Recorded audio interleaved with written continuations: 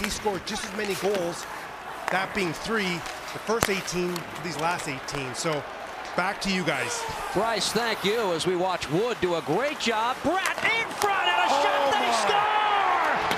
What a play! Pavel Zacha with the finish. And what a save by Ullmark initially on Zacha.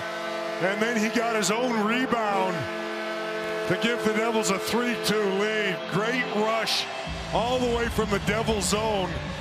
Watch the Devils right here. They get up ice quickly. Miles Wood turns up, gets it back to Bratt, who made the initial pass out of his zone. And watch this save by Ullmark. Left toe save, and look at the effort